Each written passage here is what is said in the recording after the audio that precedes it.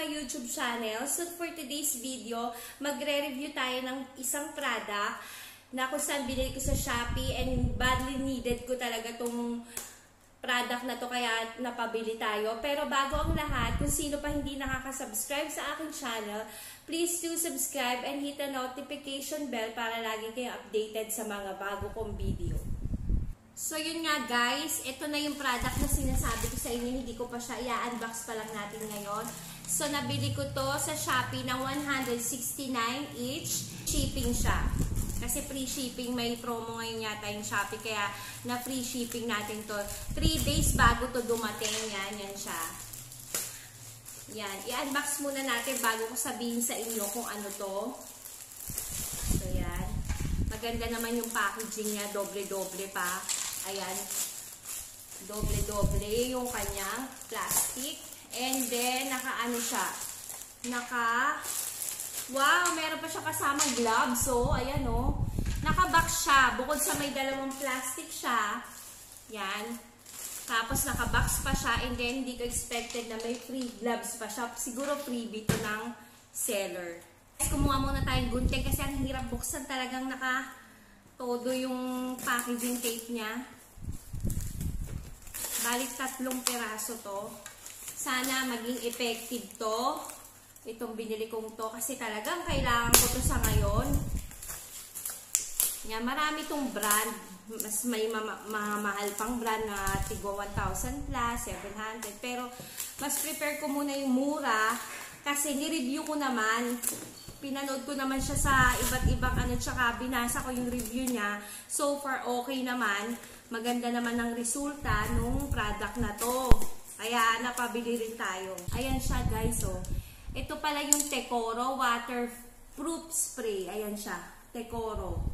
Kung makikita nyo to, meron na rin mga nag-review nito sa YouTube.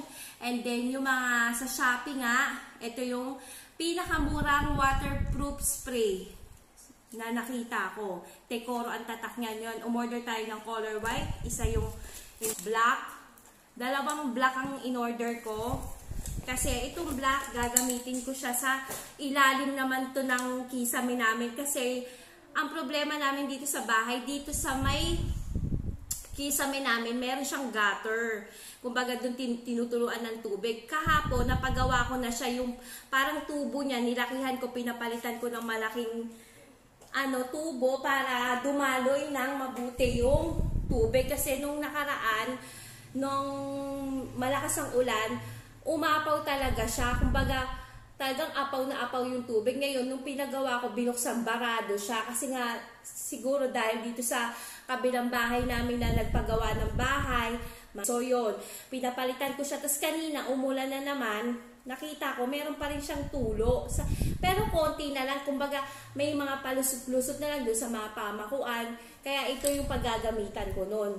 Black ang igagamit ko sa ilalim ng ng dito sa kisame kasi hindi naman siya kita. Tapos itatry ko rin to, halimbawa magbubutas tayo ng isang bagay, halimbawa yung plastic bottle, tapos lalagyan natin ng crack yun, tapos isprayan natin ito, tignan natin kung mabisa talaga siya. So, by the way, ito nga, 169 pesos each. Mura na siya kung hindi na, hindi na rin mabigat sa bulsa. Pero yun nga, hindi natin alam kung effective siya. Pero marami na nagpatunay na effective to. Pero halimbawa siguro sa mga bubong, hindi ko alam kung ilang months, ilang weeks ang effectivity nito. Pero, and then sa mga napanood ko pala, ang paggamit daw nito, isi-shake muna natin siya, tapos spray ka daw ng dahan-dahan kasi masyadong malakas daw yung ano nito eh, yung impact. Pag yung spray niya masyadong mabuga. Ngayon, dahan-dahanin mo siya spray. Tapos pagka, tapos ng first coating, patuyuin mo muna ng konti bago mo siya anuhin, bago mo siya sprayan uli para talagang tuyo-tuyo muna siya bago siya mapa-second coat.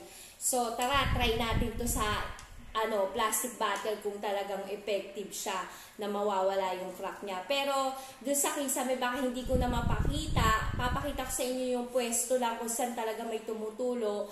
At saka yung mga nabidyohan ko na na tumutulo talaga doon. Pero hindi ko na mapapakita yung kung paano ko siya ma-sprayan kasi madilim at saka masyadong matarik yung ano namin, yung kisame namin. Pero kapag umulan, tapos nakita natin wala ng tulo, effective talaga siya. So tara, try na natin to. Ito, yan o, may crack na siyang ganun. Medyo mahaba yung crack niya. So try natin. Kung talaga may crack siya. Yan. Yan, kung nakikita nyo yan o. Maagos yung tubig niya. Kasi may crack nga siya yon. Yan. So, yan, tatanggalan na natin ng tubig and then pupunasan muna natin.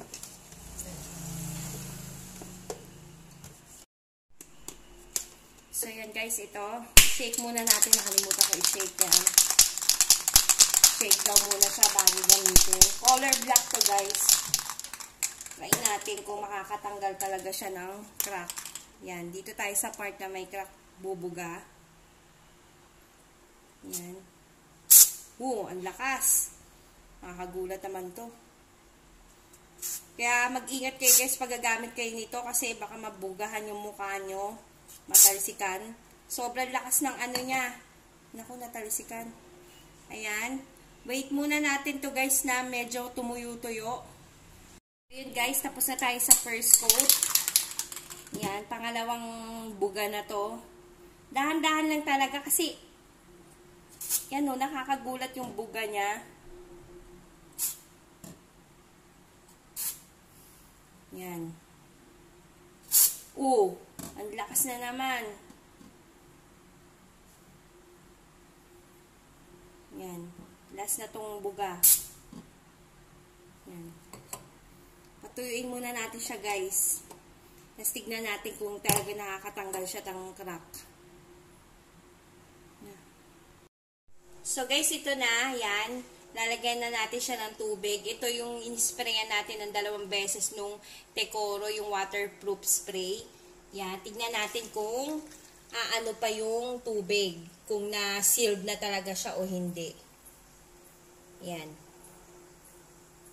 Test natin.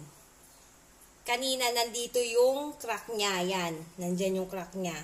Ayan. Itatagilid ko siya, oh. Wala na. Oh, mabisa talaga siya dito ha, dito sa cup na to. Pero hindi natin alam kung sa mga bubong, pero sa mga base sa mga napanood ko, magaling talaga siya. Yung in-spray nila dun sa may mga gilid ng ano nila, kisame nila na tumutulod tsaka sa bubong. Pero yung sa akin, hindi ko na nga maipapakita sa inyo dahil nga madilim yung part na i-sprayan natin. Basta ipapakita ko na lang sa inyo kapag umulan kung walang tumulo, ibig sabihin effective siya. So, yun guys, dito yung part na, ayun o, yun sa taas na yon yung buong taas na yan, may tumutulo. Kaya nakabukas yung kisame namin is, yun, nakikita nyo yun. Ano, hinihintay pa namin yun, may mga itim-itim na siya doon. Hinihintay kong umulan, kung naging effect, nagkaroon ba na effect yung mga in-spray natin. Yan. Yan, lagi ako ditong merong ganyan, timba. Pero ngayon, konti na lang yung tubig niya. Ayan o. Hindi katulad nung nakaraan. Sobrang lakas. Kasi nga, pinapalitan ko na siya ng ganito. Ito yung dati niya. Maliit lang. Tapos, pinapalitan ko siya ng medyo malaki. Kaya yan. Inisprayan na natin bali yan. So, wait na lang tayo sa ulan kung may tutulo pa siya o wala na. Ayan guys, umuulan siya.